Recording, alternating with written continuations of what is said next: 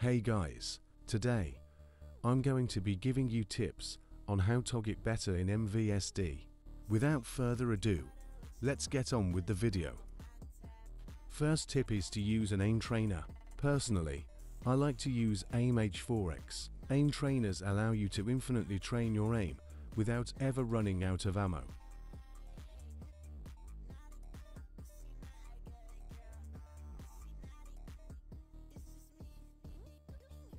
Tip 2.